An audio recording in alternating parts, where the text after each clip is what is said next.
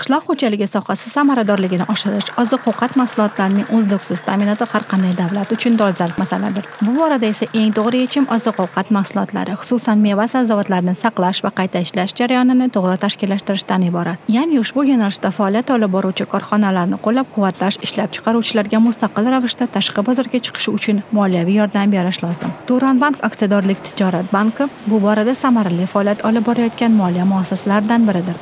Xususan bank toshkent viloyatining toshkent tumanida o'z biznesini boshlagan mavr maslati cheklangan jamiyatga meva sabzavotlarni qayta ishlash uchun olti yuz to'qson ikki ming aqsh dollari hajmida kredit ajratdi. Ushbu sarmoyaga korxona xitoy va rossiya davlatlaridan mahsulotlarni qayta ishlash quritish kukun shakliga keltirish va qadoqlashga ixtisoslashgan zamonaviy texnologiyalarni xarid qildi. Keyinchalik bu yerda sut va non mahsulotlari ishlab chiqarish zavodlari qandolat fabrikalariga tabiiy sifatga ega meva sabzavotlarning kukunlarini yetkazib berish ham rejalashtirilgan berilgan ushbu jamiyatga o'zbekistonda bugungi kungacha analogi yo'q bo'lgan yangi innovatsion asbob uskunalar sotib olish uchun moliyaviy ko'mak berildi. Natijada e, bugungi kunda ushbu korxonada yangi ishchi o'rinlari yaratilib kelgusida eksportbop mahsulotlar ishlab chiqarish yo'lga qo'yildi.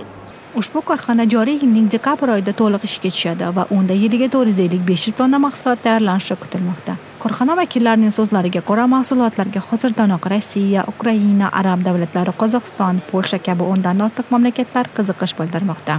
Foydali jihatlari buni e, to'qson besh protsent biza maksimal darajada vitaminlarni saqlab qolamiz. Bizni kelajakda e, bu oziq ovqat yo'nalishida sok e, ishlab chiqarishda konditer mahsulotlari ishlab chiqarishda chet elda go'sht sanoatida ishlatiladi. Hozirgi shu mahsulotlarimiz bu yarim tayyor hisoblanadi. Kelajakda biza bu yarim tayyor mahsulot bilan e, cheklanib qolmasdan tayyor mahsulotlarni sashega o'xshagan bad vitaminlarni butkul tayyor bo'lgan mahsulotlar chiqarish rejalashtirilgan kelasi yillarga. Turobankdan yana hamkorlikda e, shu ishlarimizni amalga oshiramiz.